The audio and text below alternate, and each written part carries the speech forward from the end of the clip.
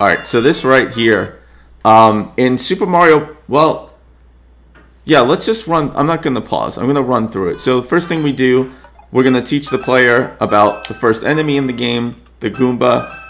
This is like your thesis statement, what do you want the player to learn? Um, so in Mario 1, things were a lot more open, uh, you want to teach players moving to the right, now the players, this is a little bit more advanced, so we're making things a little denser.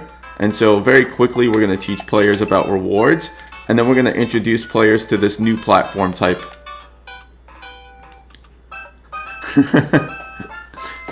well, I have I have some things to say about Mario 64, but um, they're very they're hard to compare. Um, so Mario 3 is going to teach you about these semi-transparent blocks right away um, and how they work differently. So if I just choose to run through it, um, we're going to learn that. That's a new concept in this game, in the Mario universe. Well, technically not new because Mario 2 did that as well, but assuming you skip that, um, you're going to learn that. And you're going to be inclined to try to get these rewards. And if you explore and you learn how to use the semi-transparent block, boom, you're going to get rewarded. So very well done, very well structured. Then we're also training you for these denser levels. This is the first time uh, Piranha Pete's are to fire fireballs at you. no, I ain't say you're trash. I just think that the games could be designed a little better. Um, so if I didn't learn how to hop on these blocks here, we're gonna. I have opportunity here to do it, if even by ac you know by accident, and you're kind of forced to do it by accident. And even if somehow I ended up down here, when you get here, you're going to see these Koopa Troopas moving on the platform. So very quickly, you've learned everything about semi-transparent blocks and how to use them. Now, you've, you're used to stepping on Koopas. That's been done before in Mario 1. And if you're anything like me and you're holding the B button whenever you're playing with Mario, you're going to do this almost by accident. And then you're going to learn a next, whoops, key concept in Mario 3, which is, oh, we're going to be hitting things and getting rewards from the sides now. You could do that in Mario 1, but it wasn't nearly as common as it was in 3. Um, because of my talking, I'm running out of time. So, these ramps, these kind of runways, these these were installed later in the game when uh, Tezuka realized, oh, we're going to need these for this these coins breadcrumb you up, so we're, we're teaching the player very quickly about how to use the raccoon leaf and when you're going to use it. It's very discreet, and boom, you're going to get a nice little reward. And if you're like, hey, that was nice, that was fun, they give you this other little ramp, and it's it's kind of like, okay, let's see if we could exploit this a little bit more. And naturally, um, this is probably the first thing I did whenever I learned flight in Mario 3. I was a little kid, so it took me a little while. And then boom, I, I could go back and show more, um, but it's not super worth it. Let's um, clear the level. Um, it does, if you come, come back here, it does want to give you an opportunity to learn about the rewards of brick breaking. And you see I accidentally killed myself, which means there's two ways I can get these bricks. I could use the raccoon leaf, or I could use Koopa Troopas, which are a little bit more challenging. So you automatically start to see, can I make it? How you're rewarded for the raccoon leaf. And the level is designed to be built around that. What are all the ways we could reward the player for the raccoon leaf? So I'm going to save this. And I'm going to um, reset the game. And we're going to go back to Mario World. Because like I said before, Mario 3 has a thesis statement right away. So if you looked at the, the beginning, it teaches you like all the key things you're going to be doing. Like that's throughout the game that we're going to build on. The types of enemies you're going to be running into, the types of platforms you're going to be using, the the the the power-ups you're going to use, how you're going to interact with them, how you're going to be rewarded for them. I hate this intro. It's so silly to me. It's like they just gave up. Looks like Bowser's at it again. Okay, fine fine. Not that Mario 3 is Shakespeare, but this to me was like, all right, we we've given up on. I, so this is my first experience playing Mario World. I do this. I think I'm gonna get a Yoshi. There's no Yoshi. I don't know what the heck this is. I'm just... I, I don't know. Has anyone ever actually gone back to, like, grind for these berries here? Like, so I don't get this. So I got three choices. I do that. Alright, nothing. Do I go right? Alright, that's Yoshi's Island 2. Okay, do I go left? Okay, it's Yoshi's Island 1. Okay, fine. I I'm not going to kill the game for this, but that was my first reaction. So again, thesis statement. Right here. Let's. Where's my pointer? Right? This right here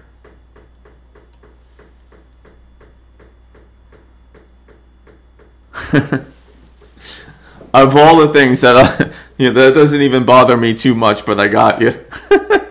all right, so this right here, this is the first thing you run into, right? So you're kind of thinking this is going to be a key aspect of the game, and you could kind of see it. It's an interesting aspect. Like you, there's a ramp, and enemies might start flying down the ramp and start shooting at you. Like yeah, not like liter like not like a gun shoot, but like shooting down and coming at you. So that's that's one thesis statement. So let's come here. Now, if you play the game, this doesn't happen that much. Next thing you're going to see. Giant bullet bills. Alright, now this really irritates me to no end. Well, I'm about to tear it down. this giant bullet bill irritates me to no end. Um, because, first of all, bullet bills were like build-ups. Like, you don't get it until... You don't see bullet bills until World 5 in Mario 1 and you don't see them until the airship in Mario 3. So you're kind of building up to something. Like this should be you know mean and threatening. And instead it's the second enemy you see in the game. And I think it's just the Nintendo's way of like just trying to like um impress you. Like oh look giant bullet bills. Okay fine. They're not that threatening. And, and I should say okay you do learn about Yoshi coins if you choose to interact with it. Fine. Next enemy you see Rex. And then the next thing you immediately see are flying flying question blocks. So let's. I want to talk about those things for a minute as well because these stupid things right here.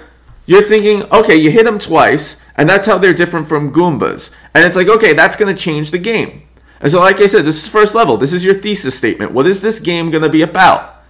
And you don't see these Rexes until World 6 on Chocolate Island. This is the only time you see them in this level until then. then. And it kind of drives me nuts because it's like this is the first world. This is what you're going to be doing. So you barely see these again till later. And you barely see the giant bullet bills until later. And those flying question blocks, you could do a lot with them and they do show up occasionally. Are they a huge part of the game?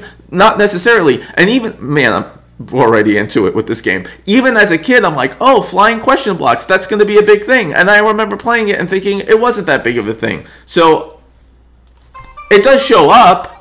Man, I hate this game so much. All right, I'm going to run through it. So that, th again, this is your thesis statement. What am I learning? Uh, I'm I'm not learning the most important things in the game because they're throwing enemies at me that don't really get used. Now, this is important. Now, again an interesting choice and i think it's because they wanted to make it easier is that you don't hit bricks from the bottom. You could actually flip these from the bottom even as small mario. So the reward for being big mario is doing this. I don't think that happens nearly enough in the game to justify um, this design choice. So okay that's neat. Okay i learned something if i chose to engage with that. Do they do that that much in the game? Um, from my memory not necessarily. Um, cool cool. Uh, otherwise, fine. I learned ducking. This is important information. You do want to learn this. It shows up occasionally. It could have shown up more. And what would have been really, really, really, really cool is if they used Yoshi's more to make it so that having the Yoshi would make this jump uh, very, very, very rewarding and if there was a consistent trade-off between oh sometimes i have the yoshi sometimes i don't and it's designed so that if i don't i can't take advantage of this as much and i need other ways. This is fine. That's a smart design. Um, and then of course i got a fire flower and as the games go on fire flowers become more and more useless because i could do that and i could do that. And the level's not constrained enough for the fire flower to be all that interesting. Now, in a... Yeah, okay. Fine. So now in a game where...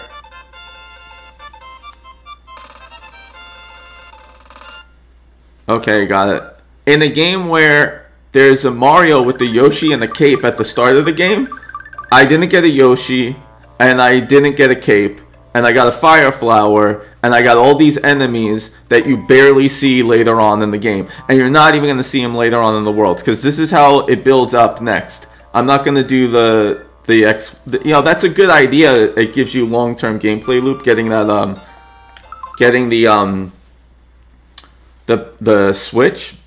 But, um, okay, so the next thing it wants to teach me is if I pick this up, I can get a reward for hitting Koopas. Now, I find that to be a strange reward because in Mario 3, you actually the way, when you hit the Koopa shell, you get the raccoon leaf, which is a big part of the game. You constantly hit things and get those types of rewards. That reward, I'm going to hit things in sequential order to get a one up. That's a strange first lesson because it, it, it really doesn't um it doesn't show up that often in this game. It's not a key player in this game. It could have picked a, a, better and more interesting reward, but whatever. I'm not going to spend too much energy on it, and I'm not going to spend too much energy on this level because I I did a video on this level, so I'm going to run through this. It's just boring. Uh, it's just, okay, cool. I, I mean, and how often do you ever actually need that in the game? Not often. It's not designed to need it that often. Look, look it's all straight. Everything, it's straight lines and stairs that's pretty cool. I wish the game was designed with that a little bit more. Um, straight lines. Just going straight. Yeah, I could interact with this. I'm not. I did a video on it, so I'm going to run through this one because I don't want to say anything more about this level. It's kind of boring. Uh, so we're going to skip through that. Alright, World 1-3 is very interesting to me.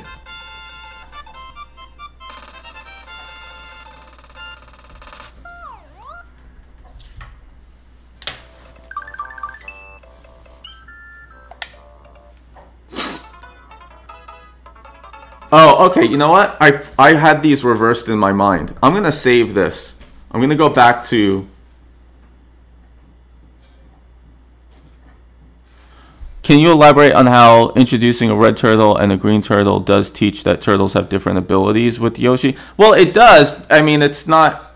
I'm going to... Hold on, I'm going to save here. I'm going to go back to, whoops, file. All right. Um, on how introducing red and green does teach it. Well, it, because it introduces you to them in sequential order. If you decide to interact with them, you'll learn quickly, oh, by eating the red Koopa, you spit out fire. By eating the green Koopa, you just spit it out normal. It did a decent job of putting that charging chuck later on so that if you save that Koopa shell, you could just attack with it. Hey, what's up, Skate?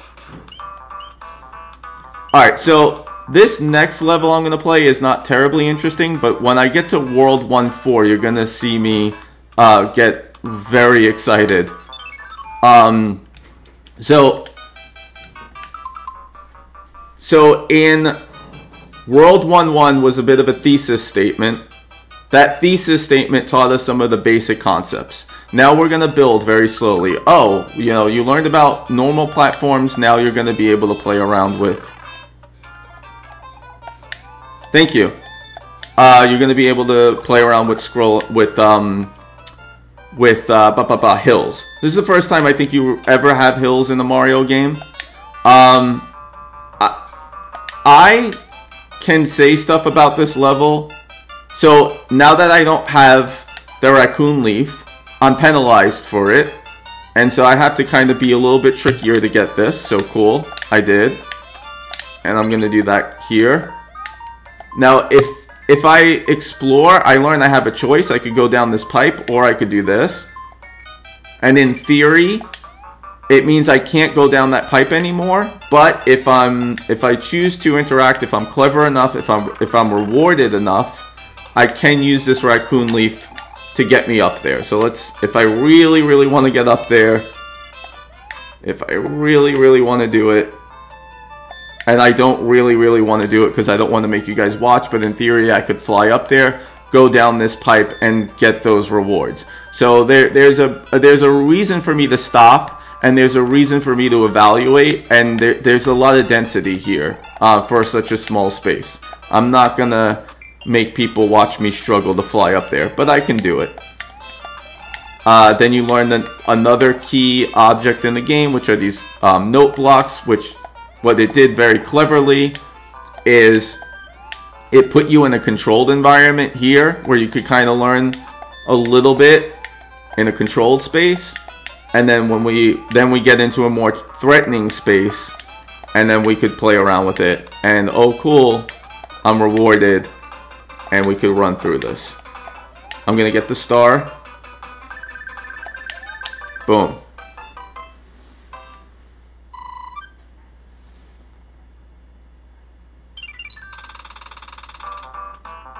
Yeah, I don't think it does. I think um, Nintendo always had this theory that people would chat and discuss.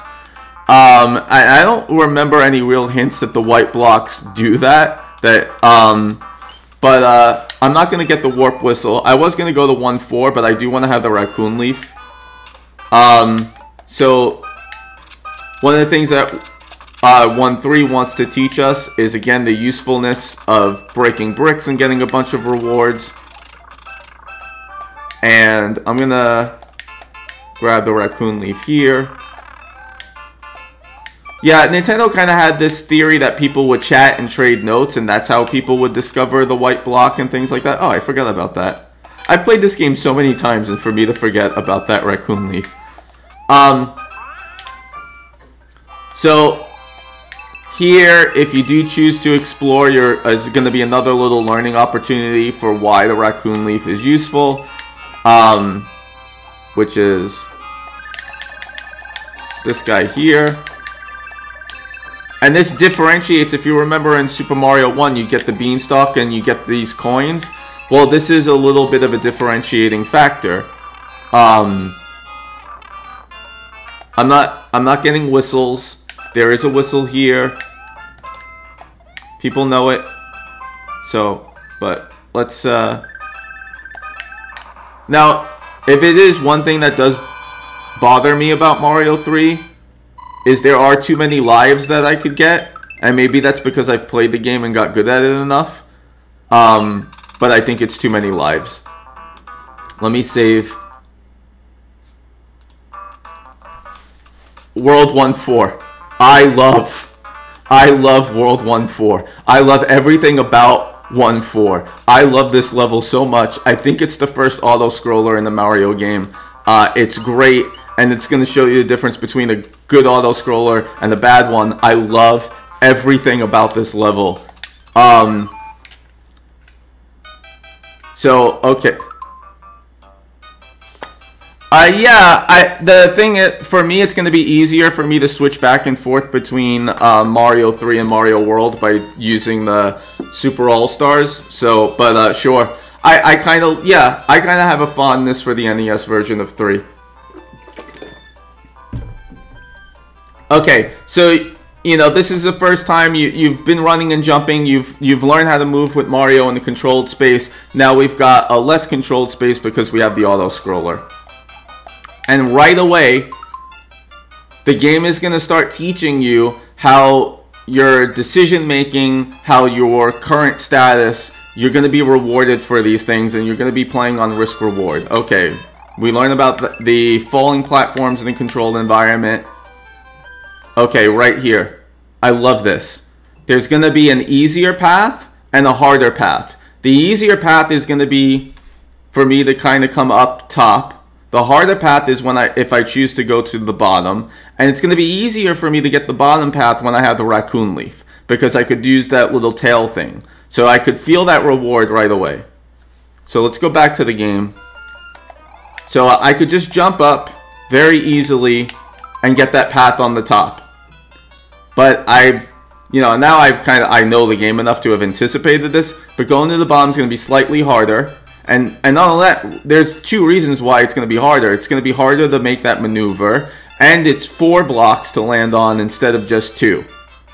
So I'm and I'm now I'm about to be rewarded for making a harder action and for now my exploration. And if one thing I think people know this, but depending on where you hit the block in Mario uh, 3, the the mushroom will go on the opposite side. So I'm gonna hit this guy here, and you. Oh, Oh, that was brilliant. So, and you even see that block ran interference on me, making it harder for me to get that one up. Um, but in theory, had I executed on that properly, I would have gotten the one up. It's beautiful, but it gets even more beautiful because this is another favorite part of mine in Mario 3. Uh, is right here.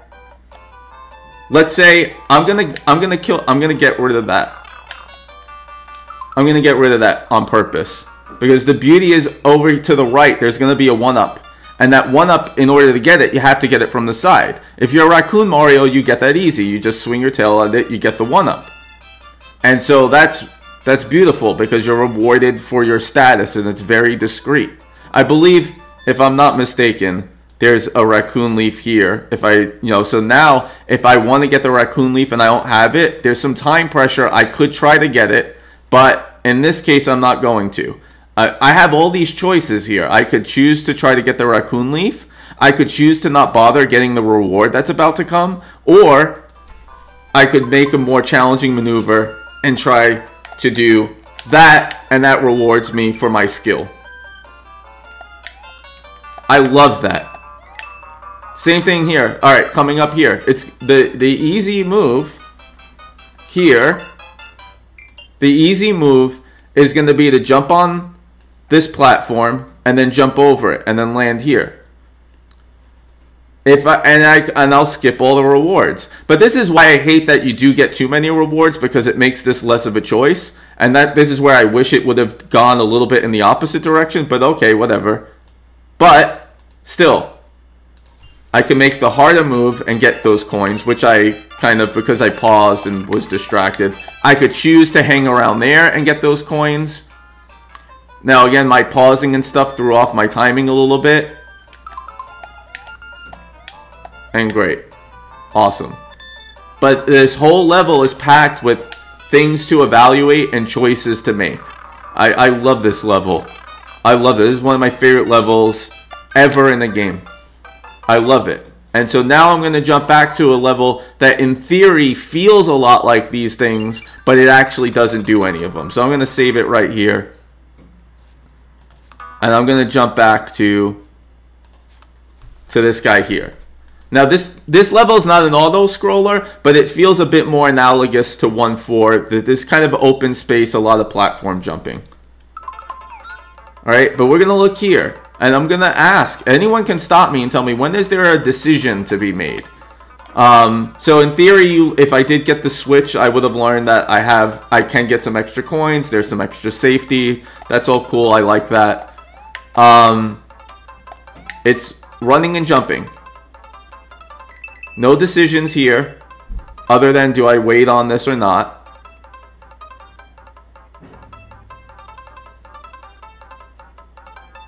They did it. I think they did it for a challenge, and they kind of did it, it. It is kind of control where you do get to decide where you want it to go. So I actually love it, but I, I, I know that they wanted to make the game a little easier, and and I think that's why they did it.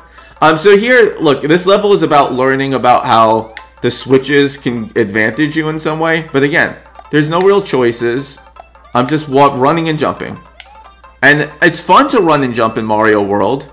Yeah, I liked it. I was always a fan of it. And so it was a balance between you had control and you also, it was like, oh shoot, I couldn't hit it from the side I wanted to. How do I deal with this?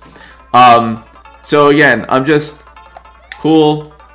I don't see a real reason to interact with this too much. There's nothing that's going to reward me. Okay, I get cool, a one up for having the Yoshi by now. Like same thing, I'm looking at this and I'm just looking for where is there a decision for me to make? And again, Mario World gets away with a lot because because the the toy is fun. Running and jumping is fun. Uh, the colors are fun. Like, it, it's fun to run and jump in this. This is probably maybe my favorite level in the game. Um, I think this, I guess you could consider this kind of a choice.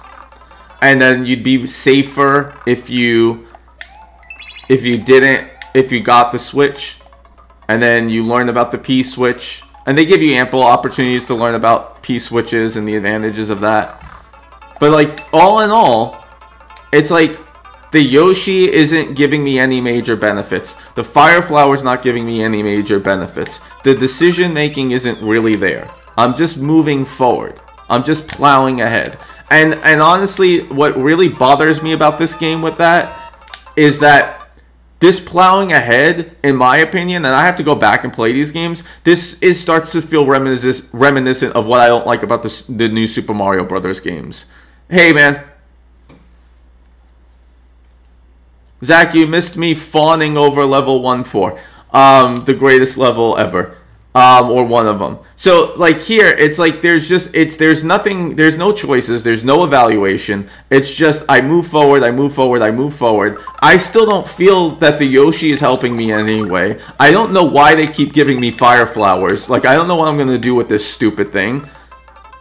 I can't even use the fire flower while I have the Yoshi. So this thing is useless. And again, there's look, there's Oh, so many opportunities here. So many opportunities here. If you if you have something outside of the critical path where maybe if I like I hate this game. Like here's oh, I hate this game so much. I'm to go back. I'm to go back. I hate this game. Whoops.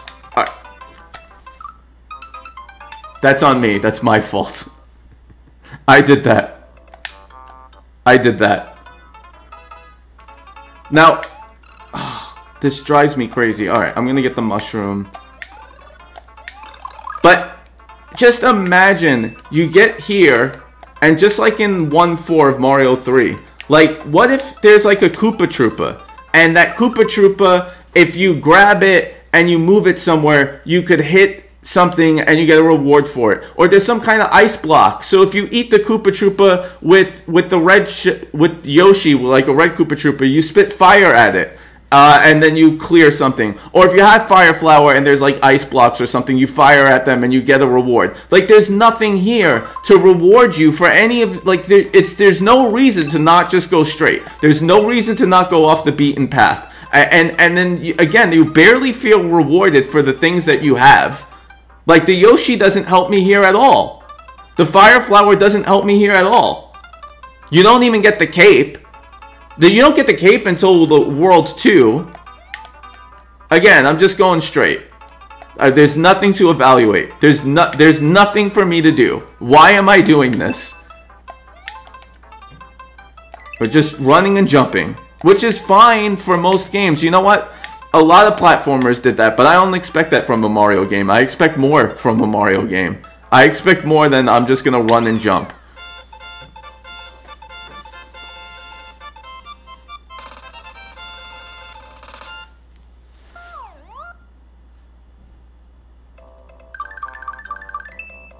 Alright, I'm gonna hoard, I'm gonna run back and get the Yoshi because I need that for this next level.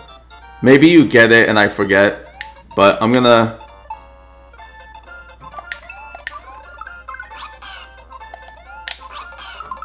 Well, let me keep it. I forget. Yep. Yeah. I, which it shouldn't. But okay. I have the Yoshi. This is an interesting level. Because this is one with a lot of potential and a, a lot of missed opportunity. Cool. Fire flower. Yeah, that's nice. You, do you get to use it? Alright, so one thing. I can do that and get some rewards. Right? Yeah. I think I got one-ups. I missed them, but there are rewards up there, and I'm gonna waste time showing it. So that's cool. That's You get rewarded for exploring. And you're gonna get rewarded, so this is clever, this is smart that they have these spikes here, because these spikes are an opportunity for you to learn, oh, you have an advantage with the Yoshi. Now, this is a thing I really hate about this game, is that they don't use spikes nearly enough in this game, because that's something where having the Yoshi is really cool. Now, I'm going to show you another thing that drives me nuts. If I go down here, this enemy is a really well-designed enemy for Yoshis. It's This is a wonder... Because they're they're high, so they're not easy to jump over. But you have a Yoshi, and because you have a Yoshi, you do that, and you get some rewards, and it it makes the challenge less difficult. So you're rewarded for having the Yoshi. That's in theory very cool. I'm going to show you. There's a couple of reasons why this doesn't actually end up working out. Because let's see let's see if this happens now. I'm gonna jump off oh, I hate this game. I'm gonna jump off this Yoshi. Look at this. Thank you, Andrew. I'm gonna show it again. If I could find it. I can't even find my cursor anymore. Pointer, there it is. Look at that. It went down from 5 to 3 because I'm not on the Yoshi anymore. So it's like it actually reduced the challenge because my status is worse. I, so the thing that would be a reward is not even a reward anymore because now it's actually lower. It actually reduced the challenge. And here's another thing. This could have been a cool enemy. You only see it, I think, one more time in Star Road. So you don't even see this thing again. So this game keeps throwing things at you that you never see. Giant Bullet Bill, Rex, uh, these things, the spikes, the tail. I'm not sure what you're talking. Yeah, it's it's it's yeah, it's cool until you realize you're not actually rewarded for the Yoshi. And then not only that, it could be cool if you have like you could have levels where you have these giant Pokeys and if you eat them, there are rewards behind them. But of course, you don't see them again. You don't see them, they only show up once. There's so many things in this world that they just raise and dismiss, and you only see once. I hate this. I hate this game. I hate this game so much. I hate this game. Did I lose my Yoshi? No, I didn't. So, like, it just takes the idea, like, oh, I'm rewarded for this, and it's not a reward anymore. Now, you probably barely even know it. Because, again, these things barely show up in the game. And I don't know, why do I even have the Fire Flower? They don't do anything in this level. They don't do anything in any of these levels. And here, when I make my video, this is a game where the level designers, they just fucking love straight lines. They just, they they design things with straight lines all over the place. I can't stand it. But okay, yeah, you're rewarded for the P-switch because you can get these platforms. Okay, fine. This is cool, right? Safety, it gives you this extra little bit of safety. That's well designed. Those spikes are really well designed. Unfortunately, you barely see these spikes again. So there should have been spikes all over this game. And that would have made the Yoshi interesting. But they're, they're not anywhere.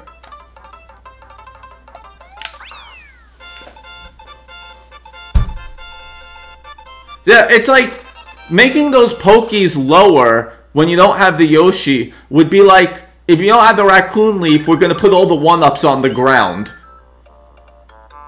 So there's just no reward for it. I'm gonna save. I'm gonna finish out Mario 3 and then we'll finish it out with World. so, on, I mean, 1-4 I mean, that's the level I like talking about the most uh, in this in this game, or in this world in particular. Um, it, I don't think that the levels after that are nearly as good, uh, but we'll run through these. Uh, I like the fire flower is kind of a weird one in this game too, and it's kind of a weird one here.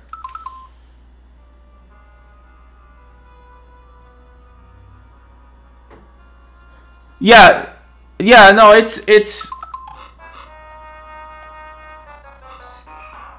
Hello. So I'm kind of, I think I'm nearing the end unless people want me to hang after this. But, yeah, Fireflower, like, it's useless kind of in this level. But what we will get is some nice carryover if I choose to keep it.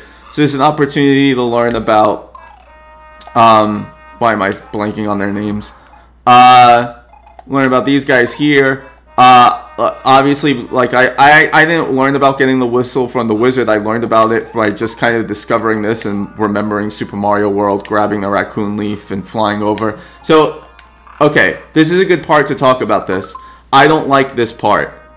I don't like this part at all. and it's even worse in Mario World because this is it, it, it, I'm just kind of waiting. And what I really don't like, I don't like when the Mario game is about running and jumping, and you have all this space that just kind of goes unused.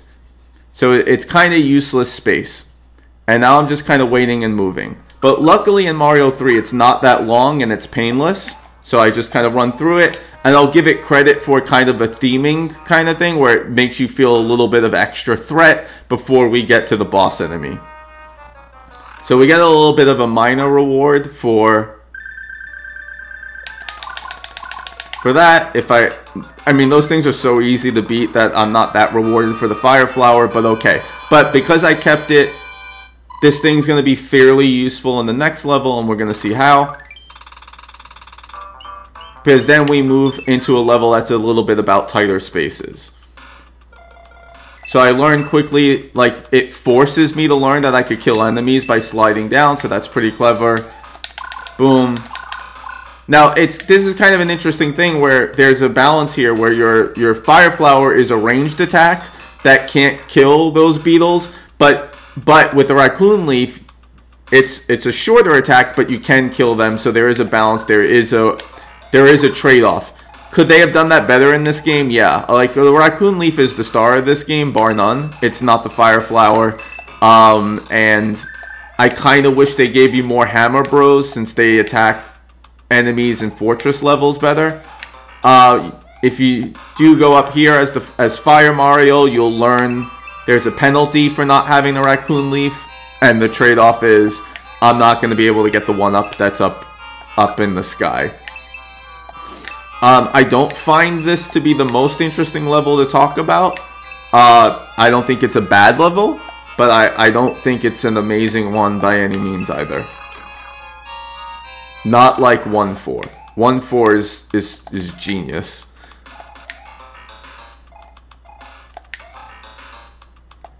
But, I mean, the, the thing is, too, like, you could still see that, that all the placement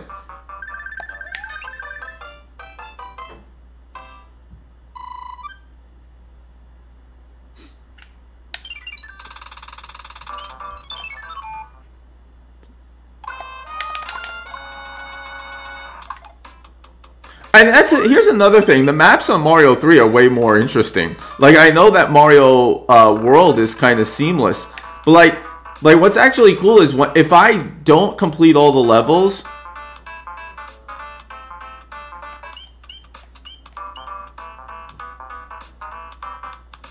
Alright, I'm gonna have to go over it with you again because it's like one of the best levels in gaming history. They skip it because they're babies. But there's so much there's so much decision making you can make in that level. So this is neat. Um, if I want to get what's in here, very clever, only three blocks of space. Uh, to get the raccoon leaf, I'm going to be rewarded handsomely for the raccoon leaf. I could just blow by all these things. Uh, but this section here, um, this, where's my pointer, is re very reminiscent of 1-2 in Super Mario 1, where there's this tight space, a Koopa um, in this tight space here, and it's kind of risky to go down here, but because I have the Raccoon Leaf um, and my abilities, it's going to be a little less risky or not. I'm going to screw up. Um, and which means I can't really show what I wanted to show, which is that with the raccoon leaf is an opportunity to run past this ramp and skip a section of the level. And it's nice and discreet and it's really well designed uh, because if you're just learning, if you're just a kid, you're just playing, going down here and going through this is a little bit more risky. But with the raccoon leaf, I could have just skipped this entire section, get a couple of extra coins, etc and we're done. It's no 1-4, but it's still solid. And we're learning, incidentally, about how these wired platforms work again.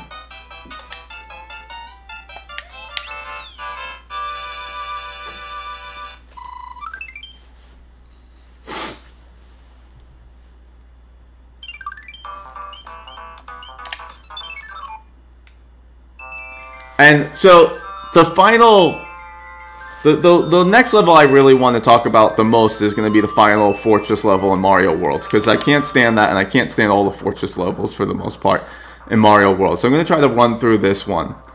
Um, and so again, so the first time you get a bullet bill of any type in this game is this kind of threatening, ominous scenario. You've just gone through a whole world and now it's like okay now we're going we're going into the danger zone here. And where mario 1 it's just like the first thing you see big giant bullet bill. Okay. So you don't even build up to any tension. Again fire flowers i've established is not that useful in this game as much as i'd like. And i wish they would have built on that more rather than just um okay I, I, at the end of this i'm gonna go back and play 1-4 again and uh, uh, for those who missed my fawning over it. This is a quick level, but it really combines everything, right? It combines... It combines the, um...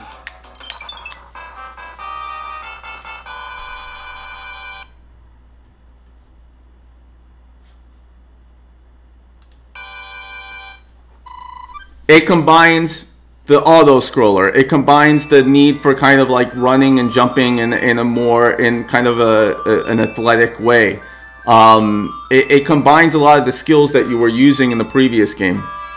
Yeah, I'm gonna go back and run through that, and I'll it'll be an opportunity to talk about one one again for for some folks who might have missed it, and I'll I'll run through and talk about that real quick, and then I'll breeze through level two, and we'll get to one four. Um, because it's one of my favorite levels ever.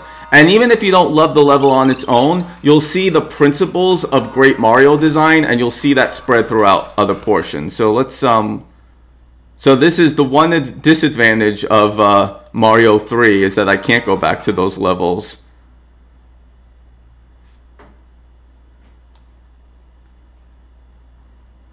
Uh you're out of your mind, Jason. But that I love that about you because because you'll say things that I completely disagree with, uh, and it's all good.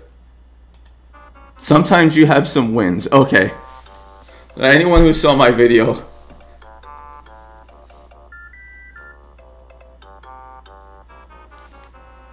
Yeah, I mean... So I did say this in Mario 3 that the theming of the smashing is cool. But the actual, like, gameplay... Like, okay, so what have I learned so far in this game? In theory, I learned about Yoshi's. In theory, I learned about running and jumping. In theory, I learned about the usefulness of the Fire Flower. And I say in theory, because I'm not even sure that's true. So then I get into this. And again, like this, like like your your ending level should be a culmination of everything that you built upon. So I said before at the start of this video, your first world, your first level is your thesis statement. Then it's a body, then it's a conclusion. So in Mario 3, your thesis statement, it shows you all the platforming you're going to be doing. And then it keeps building on it slowly. And then we culminate in the conclusion. Oh, auto scroller level in the air, right? And it's important that it's in the air because the main player in that game is the raccoon leaf. And so the raccoon leaf is designed to be in an open space. So they put the final levels in Mario 3 on an airship. And that's going to be more of an open space. You could do more with that. Did they do as much as I would have liked for them to do? Not necessarily, but they did it. And this what is I don't I don't understand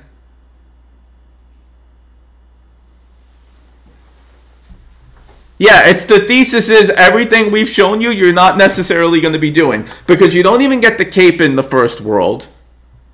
They throw enemies at you that you don't see until like way, way, way, way, way, way later and they never add up. And so if the video I have to do on Mario World is to go through literally every single level to show how none of this adds up, then that's what I'll do. But I'm sorry, there's nothing about the first world that tells me I should be climbing gates and not using a Yoshi. And not only am I climbing gates and not using a Yoshi, it's boring. Like, if anything, I will at least say it is fun running around and jumping with the Yoshi. And then on top of it, this whole level should be threatening, but really, I'm just to be collecting one-ups like a maniac.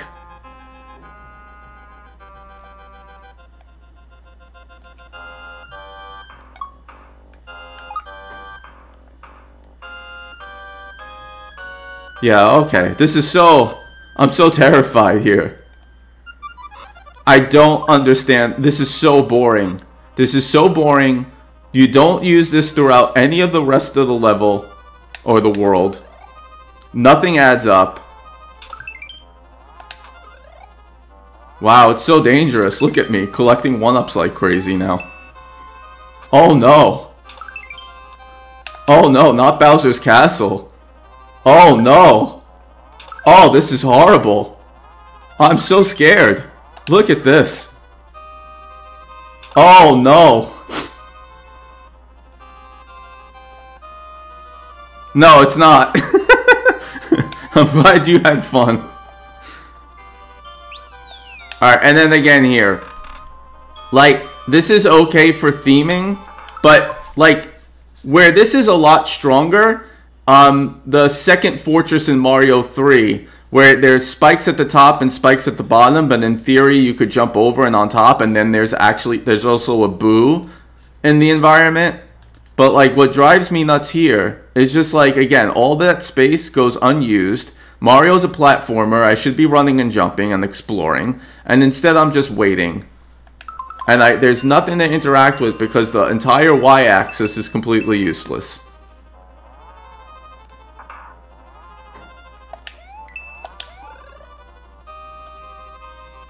I mean, they're they're Mario games. I don't know that any of them are, are scary, but like this this level should be like feel like the biggest challenge, and it should feel like the stuff I did adds up. And not only that, not only do do they not add up, but I'm just literally just collecting one ups like a maniac. Like that should not happen in the last level of a stage. And oh, by the way, I don't even get to use the Yoshi, so I I still don't understand. I still don't understand. So that's that. Let's go back. Since some folks missed it, and it seems like there's enough people willing to engage, I'm gonna. I'll probably wrap this up. Playing Mario 3. And we'll go back to that. We'll go back to that 1-4 stage.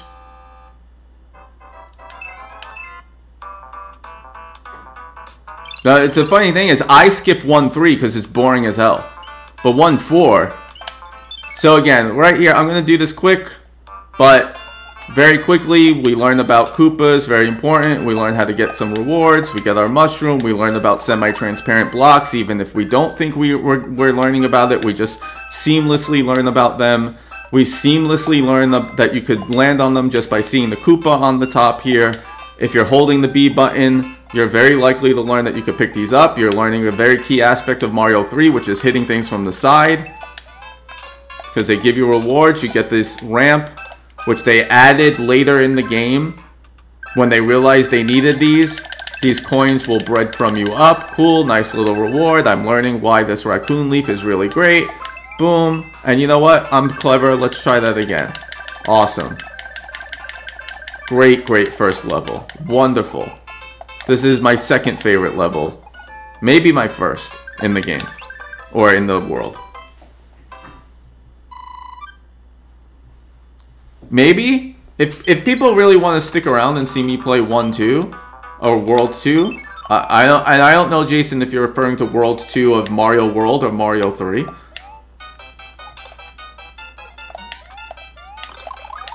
If you really want me to suffer, yeah, make me play World I'm running through this. I already talked about this. It's not that fun. I mean, it's not terrible. It, it, it's okay. This is a fine level. It's not my favorite. Keep screwing up. Of which... Of which... World 2 of Mario 3 or World 2 of Mario World? Okay, ah. Oh. I'm so glad I get to talk about this level again. I would have done a video just on this level. I love it. I love this level. And if you don't have fun playing it, that's okay. What I do get to talk about here is the design philosophy, and this design philosophy permeates in the game. And the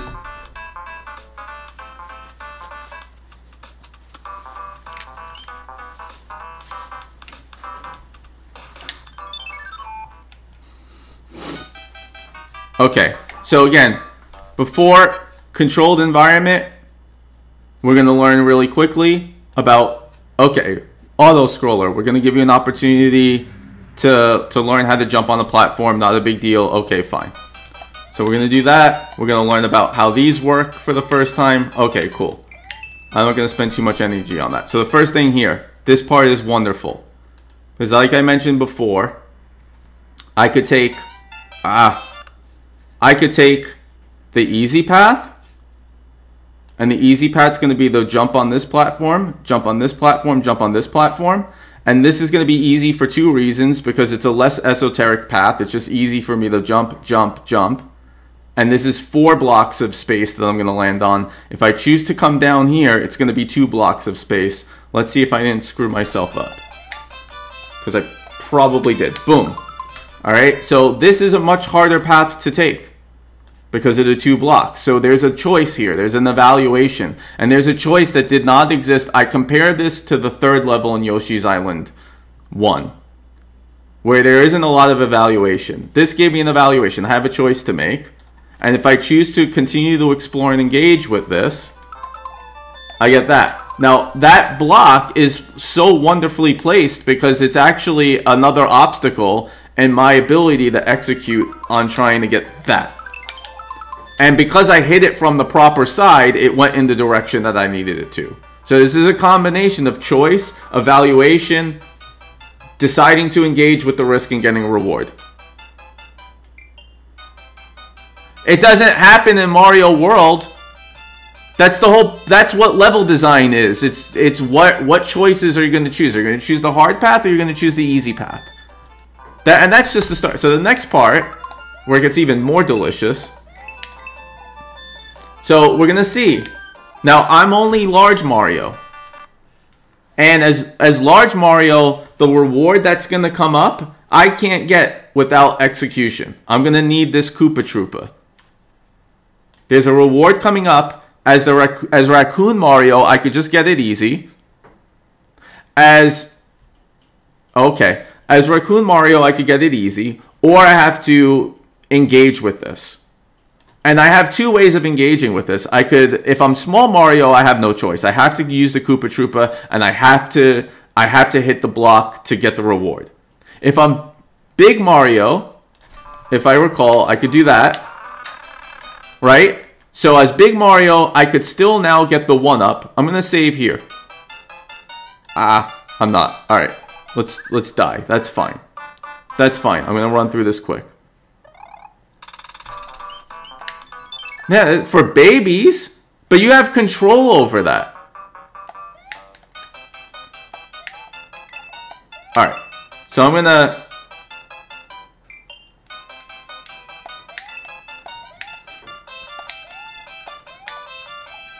Oh, look at that. Look at that. That's great. That's wonderful. But okay. Yeah, I know. That's why they made Mario World a lot easier. That's what they kept doing, and I don't really care for it, because Mario's an easy game. It's not Ninja Gaiden. It's Mario freaking 3. Okay. Alright, so, right here. There's a 1-up coming. I could choose to not get it at all. If I have the Raccoon Leaf, I could get it easy. If I if I have big Mario, I could have gotten the Raccoon Leaf. I could have engaged with this, which would have been challenging because this platform here is coming at me. So it's actually thoughtful, right? So this platform's coming at me, which makes it slightly harder for me to get the the the Raccoon Leaf if I even could get it, right? And it's an auto scroller level, so there's a lot of pressure and a lot of quick decision making. But because I don't add the raccoon leaf, because I'm not, because I was small Mario, I'm penalized. But even though I'm penalized, I could still get the reward by better execution. So that's the beauty of this level. There's so many ways in this one section for me to go about this. And if I learned how to do this and I'm willing to engage with it, boom, boom, boom, and I suck. I should have gotten the one up. I don't know how I pull that off. So I didn't execute on it. But there's a one up in that block and I didn't execute. And that's actually a great example of because I didn't have the raccoon leaf, I couldn't get the one up as easy and I failed to execute. So that's the beauty. So whether you're small Mario, Big Mario, Raccoon Mario, and that one little section affects so much of what you are going to do or can do. Now, same thing here. I could choose to take the easy path, or I can engage with this and get more rewards. I engaged with it, got the rewards. I could choose the easy path, or I could keep trying to get these coins here. I milked every coin I could.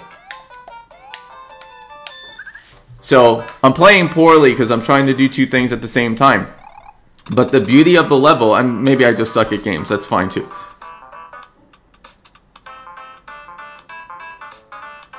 Well, I don't I don't feel that way at all. I think I think every moment if you sit with it there's actually interesting stuff happening. And Mario World you just that's the one you just slog through. Um, but that's why I have to go through the levels. But yeah, World 1 4, there are choices. There are actual choices to make. And you say, well, okay, so what? You could take different paths. Big deal. That's not that's not um that's not much of a big deal in level design. And I would agree with you. I don't think that is a big deal in level design. It shouldn't be, at least. I thought that was pretty basic and bar none, except you go back and you play like... You play like this crap here. And it's just, there's nothing. You just run, jump. There's nothing to evaluate. I'm just running and jumping. Running and jumping. That's it. There's no reason for me to sit with anything here at all. So even that, the subtle thing, like again, if there was like, I could eat that guy and then I spit something out there and I get a reward or something, that would be cool. But they never even give you that opportunity, which I still don't understand because it's like, it's one thing to make an easy game, but you could still give the players who want more of a challenge something off the beaten path to engage with. But it's just, look, there's nothing, there's nothing for me to really stop and sit with. Nothing. I just go straight. And so th there's no reason World 1-4 doesn't do that. World 1-4 gives you things to do, gives you things to evaluate, gives you choices to make, makes you feel rewarded for the things that you have. I'm not rewarded for this Yoshi, and I'm not rewarded for the Fire Flower, because the level design doesn't allow for it. Okay, yeah, okay, defend it, because it's not. It does nothing. It doesn't do anything. Just running and I don't know if you're trolling me or not. Yeah, no, this games are are about interesting choices. If there are no interesting choices, it's just a game of execution, which anyone can do. And here's the other thing. regardless of whether or not it's better, if this is fun for you, fine. But this is way easier to design for. This takes no sophistication. Why am I doing this? There's no choices and then it's and then you're not rewarded. So this is the other thing. All right, this is what I didn't mean, didn't say because the choices and the rewards, the choices and the rewards are what makes the power ups useful. So this would be like. So I have the Yoshi, it does nothing for me in this level. I have the Fire Flower, it does nothing for me in this level. So it's like designing a Spider-Man game and putting him in a desert. So the web slinging doesn't even do anything, and it doesn't even mean anything. Yeah, they're good mechanics.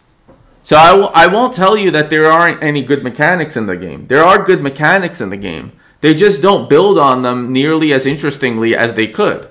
And I know why, because it's not focused. They didn't they and and they said it Miyamoto said it himself that they didn't have enough time to finish this game and it was rushed. And I know it was rushed because I could feel it because of the lack of focus. Some of them do. None, no level is designed like Yoshi is the star of the game. Every almost every level in Mario 3, the raccoon leaf, you're rewarded for having it. So why do I have the fire flower in this level and why do I have the Yoshi? So I don't get the Yoshi, the Yoshi is useless in this level. It's useless in the first one. It's you don't even get to use it in the fortress level. There, there, there, there's so much you could have done with the Yoshi in this game. If you had more spiked platforms, if you had a need to jump off of them more, if you used the Koopa shells more interesting throughout the level design, it's not fully well thought out. They just threw stuff at you because they didn't know what they were making when they made the game, and they practically admitted it. But yeah, if you again, If if what is this game about, and it's not clear to me, and so you, there's no reward for the thing. You want to feel rewarded for the thing that you got. So again, it's like getting web slinging ability in Spider-Man and not having buildings to swing off of. Like that's fine occasionally if it's like, oh, we're gonna make you feel like we're taking your powers away. But you don't want to play an entire game like that.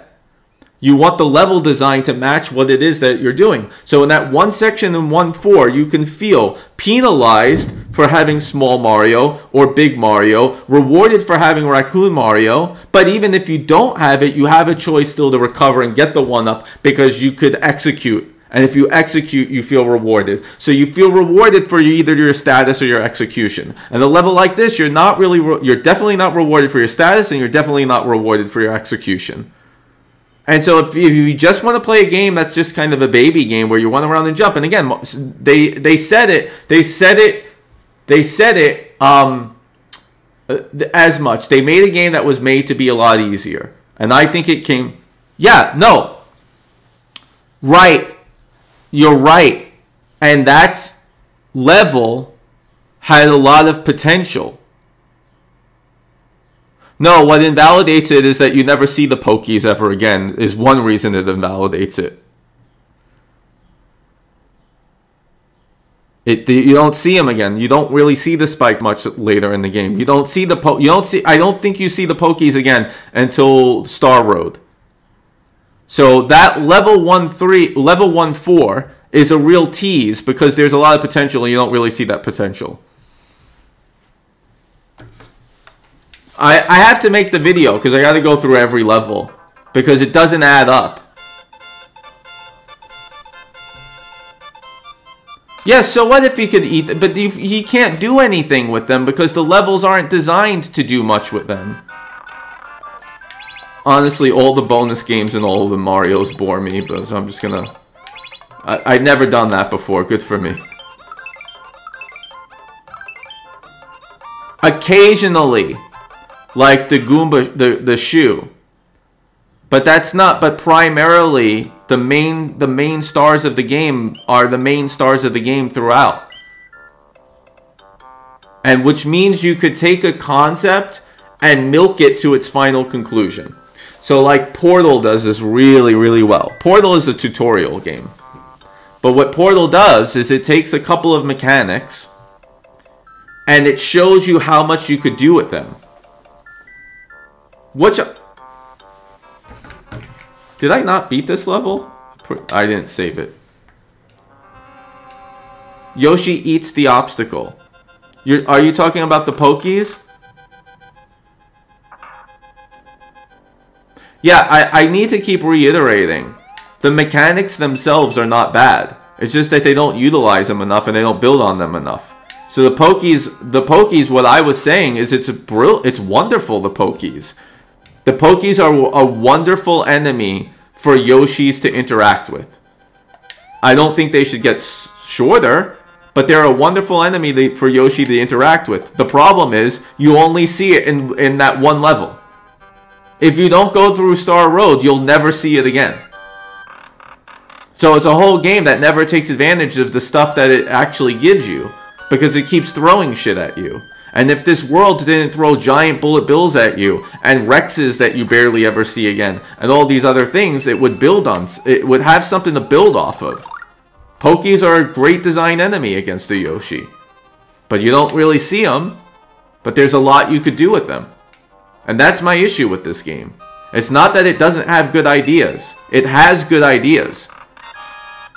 But the, but the level design is not sophisticated enough to actually leverage those good ideas in a way that's very, very interesting. And I know that's what the developers meant when they said we didn't have enough time to finish this game. Because what they didn't do, because Mario 3, Tezuka says, we went through the game and I realized that the raccoon leaf wasn't useful enough so we put ramps, we put these runways throughout the game to make them more useful. And that's what happens when you have more time to finish your game. Is you could look at stuff like that and see, oh, we need to tighten this up. We need to make these other things more rewarding. There are plenty of oh good mechanics in Mario World. You, I, I don't hate Yoshi because I hate the concept of Yoshi. I hate Yoshi because the level design isn't really utilizing it as often as it should be. Are there people? Sorry. A little ranting. Even Dario bounced out. He's like, enough of this. I mean, and I think that's really finally my final thesis statement about it. It's not even just that. It's like, look, if if someone enjoys this game more, that's fine. But but I'm the sophistication and level design in this is it's not nearly as sophisticated. It's not nearly as tight. Oh, okay. yeah, I mean, I don't. I'm not crazy about the way they handled fire flowers in either Mario 3 or World.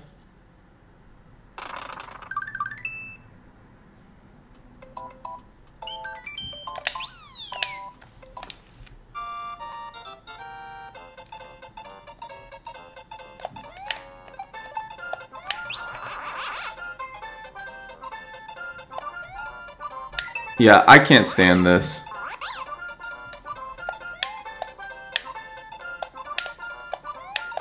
I don't have much to say off the top of my head about this level, so don't expect me to say much. This level's okay. I, I will say...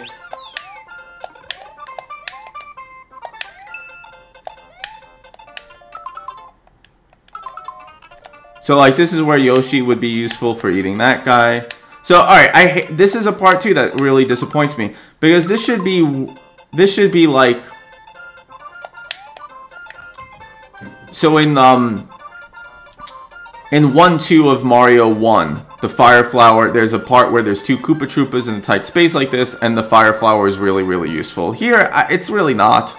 It's like, okay, you get the Yoshi is more like you have a chance to allow yourself to get hit. But there isn't really much I could do about these guys, and I wish that there was something I could do better about these. Man. What choices?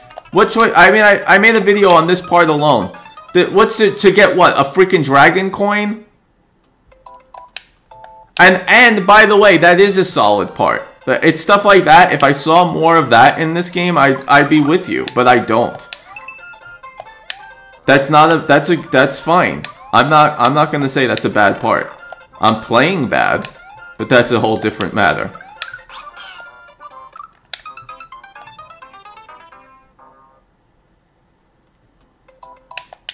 Yeah, I'm just not giving you a big de design analysis on this level because I wasn't planning on talking about... Okay. Wait, what? Oh, oh wow, I could go down the pipe. Big deal. Oh, I hate this part. I hate this. I hate this part. I hate this part so much. Yeah, th that's this is what this game is telling you. Here we go. Coins all over the place. And for what? Just going down the pipe. I'm being a little bit of an ass with that one, but but it like the part by itself is fine, but they're just it does teach you about how to use these triangles. This is I I would say this of the of the levels in Super Mario World, I do think this is one of the better ones. So this is good. That's well done. The problem with the Yoshi here is that unfortunately the way this is designed, the way the game is designed, like if these were Pokeys down here and I could eat these guys, great, but they're not. They're charging chucks. So like going down here still kind of sucks. It's just more like a, oh, I could take the hit without dying. I'm not a fan of that. Like it should be, it should be, I, yeah, if those were like Pokeys and I could do that, and defend against them, great. Yeah, it, this isn't a terrible level. I, I, I wouldn't have thrown all these enemies at you. Cool, yay. Big deal. Big deal. When I just got like 25 one-ups in the stage before just for climbing a stupid gate. Big deal. I got a dragon coin. Cool, that's good. This is one of the better levels, except I don't care for the end. Because I don't care for this. I don't I don't feel like unlocking this, I should have to go through this entire level again to, to be rewarded for this. And and this to me is not a secret. I'm sorry, a key a key and a keyhole, that's not a secret to me. I don't know what that is. I don't consider that secret. That's all over this game. I don't care for it. I hate this game. Cool. This ain't a bad level.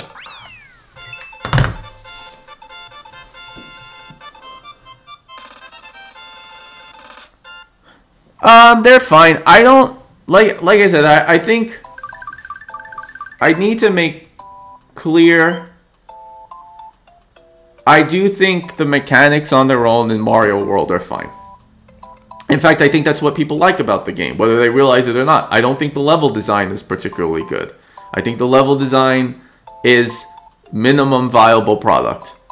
And I don't think it builds on concepts very well. So you see, like I've just been through like five, six levels, and each each one is its own thing. And I don't that's not good level design to me, and that's not well thought out. That's that's Mario Maker stuff. Anyone can do that. So I don't really not to not to belittle Mario Maker friends here, because I've I've made a Mario level myself or two, and they're not as good as some of the ones in Mario 3. But I find this one boring.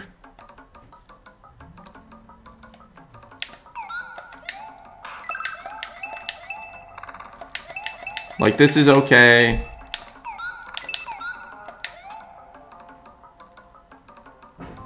Like, but again, it's mostly... That, I mean, I'll say this, that's, it's nice to have the advantage of the Yoshi here. For that. So I am rewarded. I'll give it that. Are there any choices for me to make? No. I just move forward. And you know, the other thing too uh, about Mario World and why I, I think being able to return to the levels go, works against it too. Because even if I miss something, it's just like, okay. Like, I don't care for this whole completionist mentality. Like, like there's just a... Because then you're just like gobbling stuff up. It's like nom nom nom nom nom nom nom.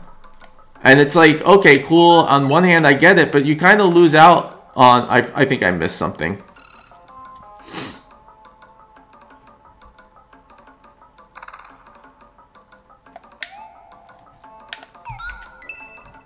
Like, if I'm going to go through an auto-scroller, I want to at least be running and jumping. I don't want to be going through this shit.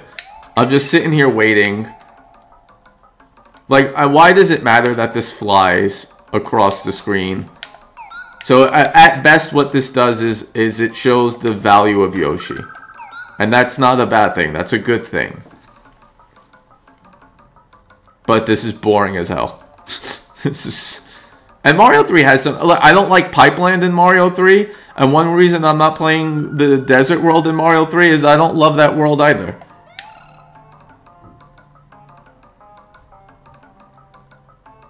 Someone modded? I don't, I don't know. Maybe there's some words that I removed automatically. Yeah, I, I and and that's just a, a philosophy. I I don't. I think it's less rewarding to me to be able to just keep going back. It, it, it just becomes, it turns Mario for me into um, being able to grind and being able to farm. And so you never miss out on anything. But I think missing out on stuff is, is itself rewarding. Alright, so now I what I know is happening is that Jason Graves is going to take every opposite position of me. And I think there's a little bit of trolling here. I think you I think you do agree that you you I don't think you think my complaints are the, of this game are completely valid. I will say that, but I do see the troll. Oh, uh, again, Ghost House. That's a big part of this game. Oh, fuck off, Yoshi. And uh, and this is a this is a matter of taste. I don't want I Uh, if people like this type of level, fine. I don't like this type of level. I don't like puzzle solving in my Mario game. I'll I'll say that's a matter of flavor. I won't say that's objectively bad. It's a matter of taste. I don't like it. I forget how to get through it. I just want to run and jump and make choices. I don't want to I don't want to sit here trying to puzzle solve a game that whose puzzles are not that interesting. I forgot how to do this shit. I think there's like, do I go through this door?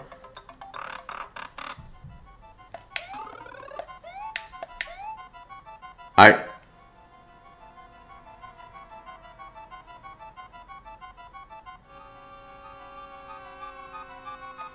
Well, I think my...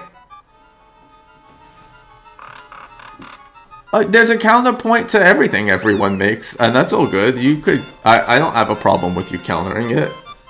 But I don't I don't think it's as well thought out. I, I think I could... Whether or not it's better or worse. So we could we could frame we could get rid of the idea of better and worse. I'm saying I hate it. What do I hate about it? I think objectively Mario World doesn't build on concepts as well. I think objectively it doesn't utilize the things that you that it gives you and exploits them as often and as regularly and as tightly.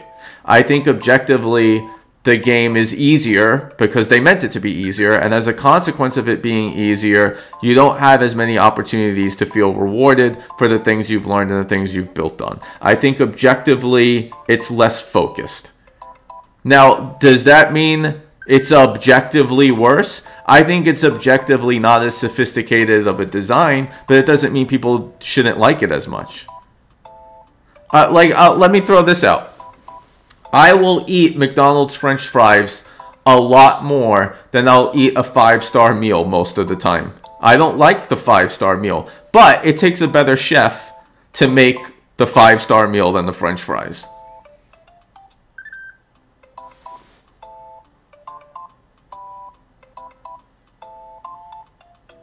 Yeah, I'm not saying there's nothing good about it. I'm just saying the level. I think the level design, like, I'll, I think the level design is bad.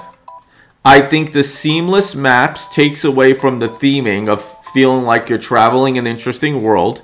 I think that it should have been more focused. I think there should have been less stuff.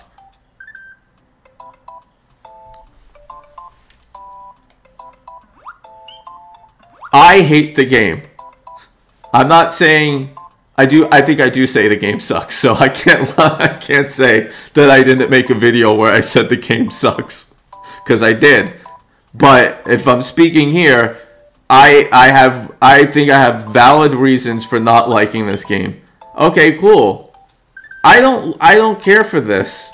I don't care for being able to return to the levels because you can't miss anything. And if you can't miss anything, it means you don't get rewarded for the things that you got because you can just keep hoarding and hoarding and hoarding. Now, look, I is that my best complaint? It's not. It's not my best complaint.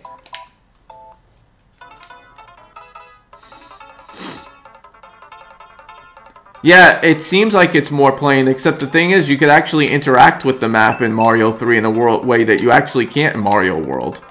That's the surprising thing. Yay. Cool. That's This is cool. I'll give it this. The actual rest of the level, the, and it doesn't do that kind of thing nearly enough.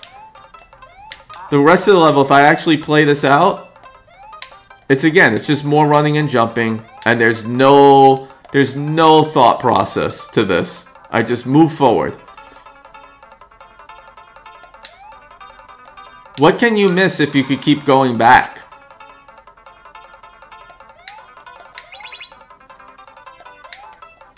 If my memory serves me, I have no real way of knowing. Yeah. This is fine.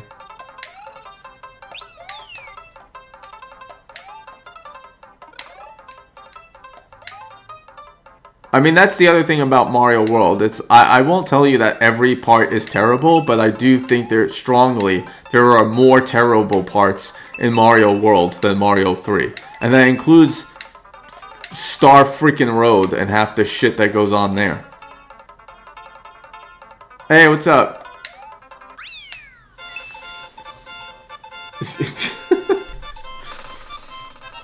Hey, Jason, if you want to make the video, make the video. You tell me why it's one of the best levels in, in design history. Hey, if there were more levels than that, like that, I'm okay with that. Less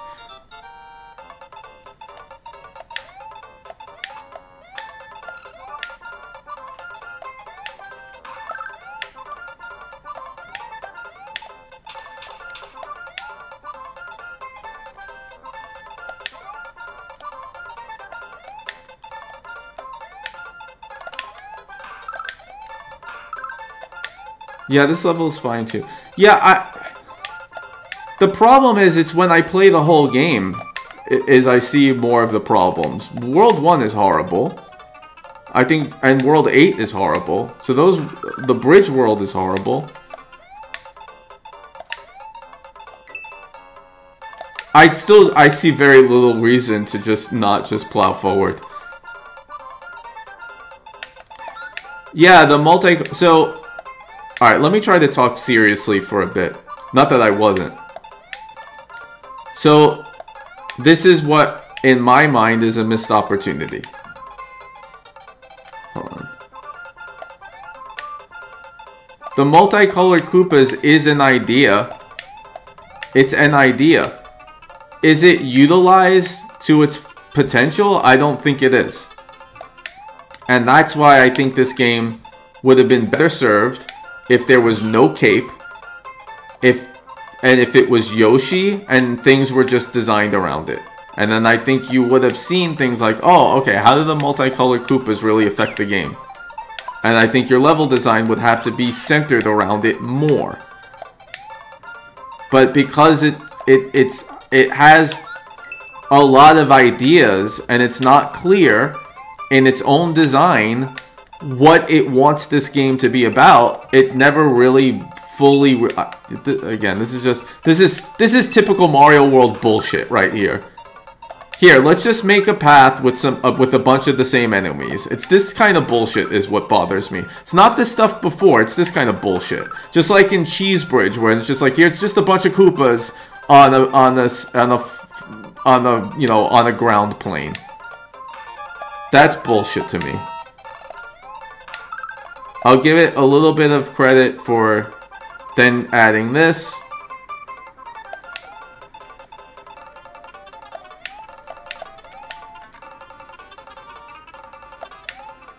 It's only used once. But the thing about that shoe is, because Mario 3 is more grounded in its themes, when it throws a one-off at you, that's all it is. It's just a fun one-off. But the shoe gets introduced, I believe, in World 5.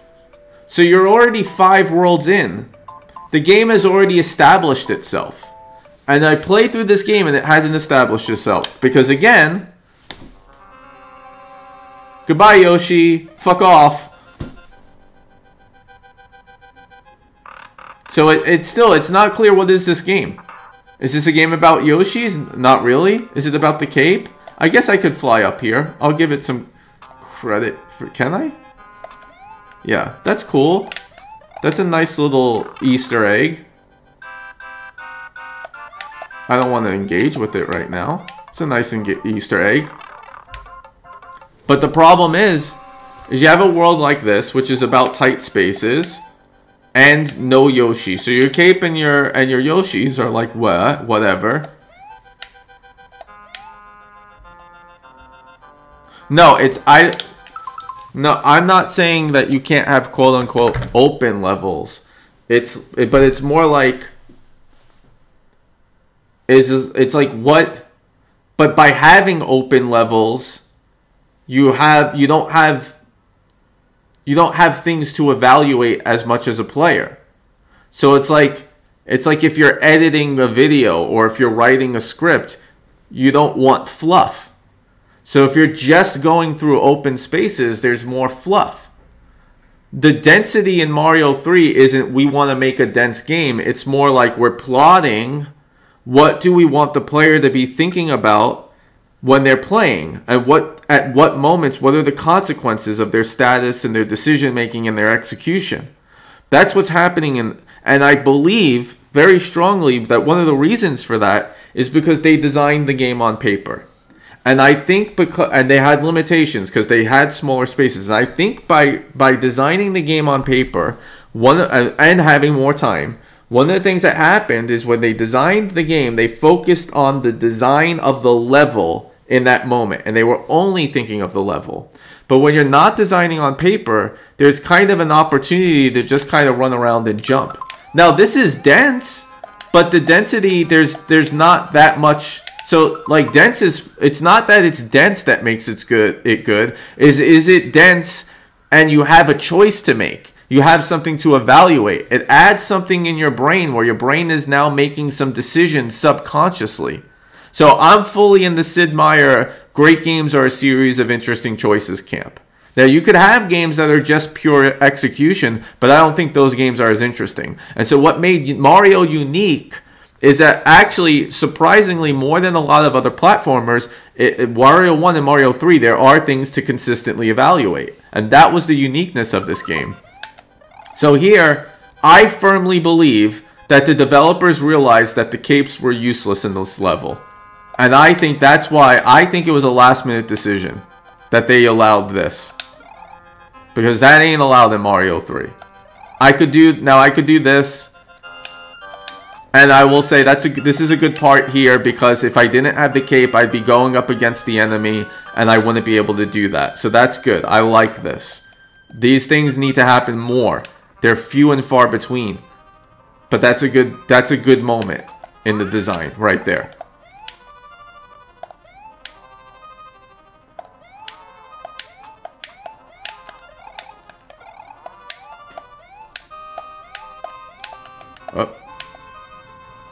I, and I'm just like, uh, even Mario 3, when they do stuff like this, I'm not a fan of. I don't like Pipeland in Mario 3. I don't care for these, like, waiting moments. This this is the Egoraptor sequelitis in me. I don't I don't want to just wait if there's nothing interesting for me to evaluate. So 1-4, you're waiting in an auto-scroller, but there are decisions I can make and things I could do. This is a way, way better level than the first Fortress, by the way. That's some bullshit. That's some fucking bullshit. You know what's also bullshit is I'm on a Yoshi and I can't fucking use it. That's some also that's also some bullshit.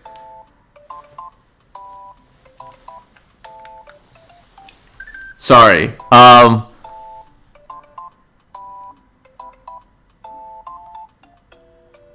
Yeah, well, so the interesting thing is when you think about the shoe in Mario 3, it's kind of a precursor to Yoshi with the ability to jump on certain things and they could have used that. And so like look at the mechanics of the Kuribo shoe in mario 3 it's yoshi with without the tongue right? You could jump on certain platforms and you could jump out of them and, and get higher air.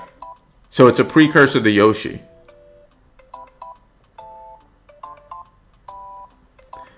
Whenever you die it feels like bullshit trevor um World is far more optimized for fast-paced gameplay in open areas, which makes it a blast after you've explored its many secrets. I don't consider any of its secrets to be secrets because I think if you just have a key and a keyhole, that doesn't feel like a secret to me. Um, I think it's too open in a lot of the spaces. Um, again, my biggest complaint about World are, are, again, mostly I just don't think that the level design is sophisticated and adds up, but okay. Uh, World throws constantly... Yeah, too many too many new ideas. Like that's my problem with World. It's too many ideas. It's not focused. And because it's not focused, okay. Yeah, so look, I'm going to use a word that's generally I'm going to use a word that's generally considered negative, and I'm just going to try to use it in a more neutral way. Mario World is a more shallow game. And I'm not saying shallow in a pejorative. So this is where it's a matter of taste. It's more shallow because it gives you more things, but it doesn't keep going deeper and deeper and deeper with those things. So by its definition, it makes it more shallow. And Mario 3, I think, is a deeper game because it continues to exploit ideas more and more and more. And I wish that Mario 3 did that more, or did it even more. I don't think I, I, I think it's barely a secret if there's a key and a keyhole and I could just grab the key and put it in the hole. I, I, it does. It's not a secret that excites me that much. And now I'm being a little bitchy right now, so so sorry. I don't. I I don't. I'm not. When I make the video, I'm playfully mocking folks. I'm really not trying to get people to hate this game. I'm expressing why I don't like it. Go ahead and love it. And I'm also want to express that I, if I'm trying to be measured, is that a game that's universally praised and has become like this is the de facto Mario 2 game Mario game, I don't think it should be considered that. I think there's a very big case for Mario 3 and I think it's a bigger case. I think it's a way more sophisticated game.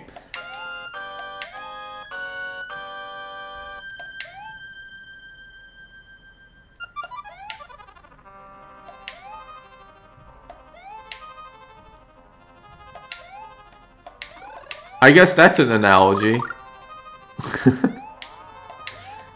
I think it's French fries. But I, think that's also what is not going to happen here is I think these levels get way, way worse over time. And I'm not going to play through this entire game right now because I, I get a feeling not everybody wants to see me do that. Um, but I, I think when I play when when I was make recording footage of this game, to make this video. I went into this thinking that this would be a game where I'd have to be like, oh, it's it's pretty good, but you know, here are the pros, here are the cons. And by the time I got to the last world, shoot. By the time I got to the last world of this game, I just decided, no, I hate this game.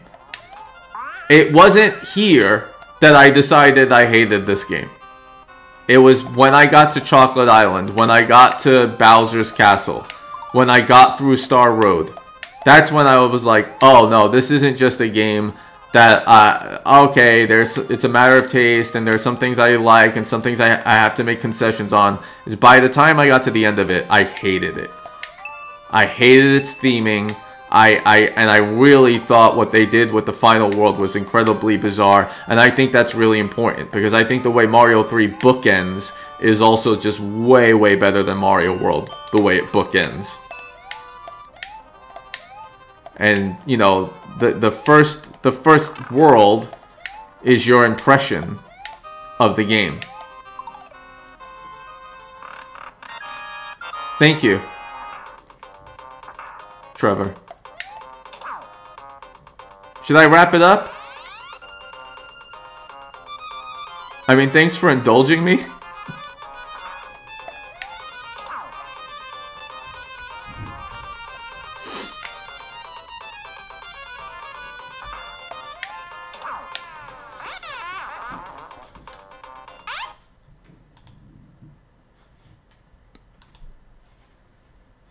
All right, I think I'm wrapping up here. I did what I what I meant to do. I did what I what I meant to accomplish. Part of it was get a stupid rant out of me. All right, I'll hang for a little bit. I'll play for a little bit. Um, I don't I don't have much analysis in me anymore. Cause I was going into this prepared to talk about the first couple of worlds, but so I'll get a I'll get a re-impression of this game. I don't think I much care for Vanilla Dome. I Will I be able to articulate a cogent analysis of why? Probably not right now.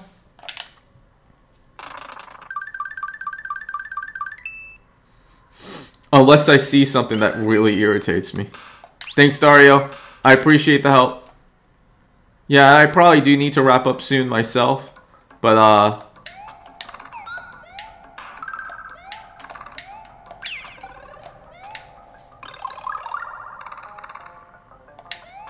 Something about straight lines really irritates me. It just tells me that you're there's not the most interesting level design. But I do I do think in order to really articulate what I want to fully articulate here, it's going to have to be in the video format. Yeah, Mario 64... I'm not fond of. And if you've heard me talking about this these games, the reasoning behind it probably wouldn't surprise too many people. Because I, I really love... What I love about the power-ups in Mario games is that, to me, that when they're done really well, they feel rewarding. They feel like you did something with them. You feel rewarded for having them. And, and the carryover of power-ups matter to me. And in Mario 64, with that kind of not in play, with it not feeling, it just didn't feel like what I expect from a Mario game. I like Mario 3D World a lot and Mario 3D Land a lot. Um, but yeah, I think because I don't think I have anything interesting to say right now, uh, I'm gonna wrap up. And I really, I really appreciate you guys being here. I didn't do anything wrong. I d I don't think you did do anything wrong. Uh, and I appreciate uh, I appreciate everyone who was here. And uh, I'm gonna wrap up though. Uh, I appreciate. Yeah, it's actually there were more than I was expecting because I know that my. Yeah, they were kind of. I understand why they did what they did especially like it's an early game. I, I think in a lot of ways it's a precursor to Ocarina of Time, which I love. But um, but yeah, uh, I appreciate all of you for being here. Uh, thanks to uh, to those who came to check it out. Thanks to subscribers. Uh, hopefully, like even like even if you don't agree with my takes, at least I did still show like, hey, what's the thought process um, in some ways of designing a level and at least what I think Mario 3 did really, really, really well. Um, so I, I appreciate you guys. I'm